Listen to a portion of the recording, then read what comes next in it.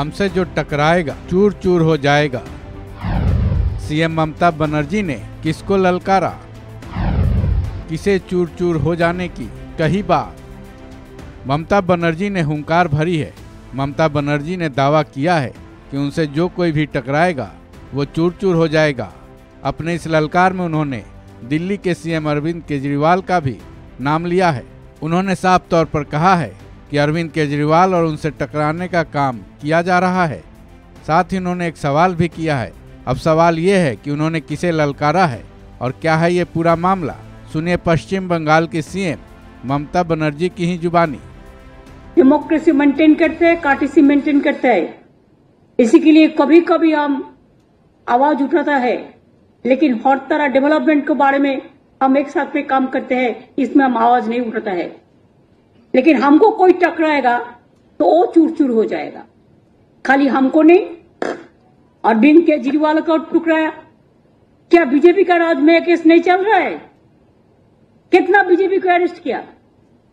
BJP का राज में क्या सब सच है? सब संत है? व्यापम केस में मध्य प्रदेश में क्या हुआ था? नकरी का बारे में?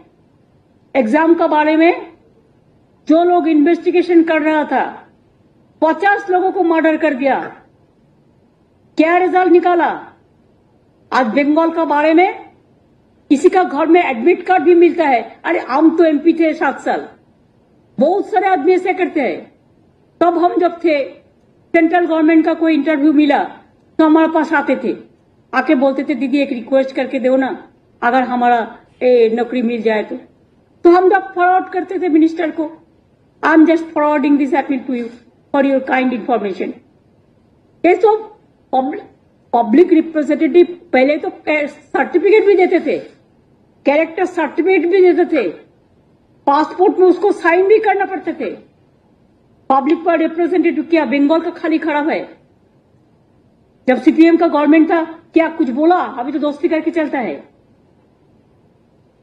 उनको जो गवर्नमेंट है, सब संत है। हमारा गवर्नमेंट में हम कोशिश करते हैं जो अच्छा से अच्छा काम रहे। हम लोग बहुत सारे ऑफिशियल को भी खिलाफ में एक्शन लिया करप्शन का बारे में। हमारा पार्टी में भी कोई करप्शन का चार्ज आया तो हम उसको खिलाफ में एक्शन लिया। ऐसा नहीं है हम नहीं लिया। लेकिन मैं बीजेपी के कहने चाहूँगा, किसका इशारा पे हमारा लोगों को हर रोज एजेंसी तंग करता है? वो खुद एक डाकू है। अब ये साफ़ है कि ममता बनर्जी ने खुले तौर पर बीजेपी को ललकारा है। उनकी हुनकार पश्चिम बंगाल में केंद्र सरकार की कार्रवाइयों को लेकर है। साथ ही दिल्ली में अरविंद केजरीवाल और उनकी पार्टी के सदस्यों के साथ पिछले कई दिनों से चल रही गतिविधियों को लेकर भी है। ऐसे में ये देखना दिलचस्प होगा कि ममता बनर्जी की इस हुंकार का जवाब बीजेपी की तरफ़ से किस लहजे में आता है।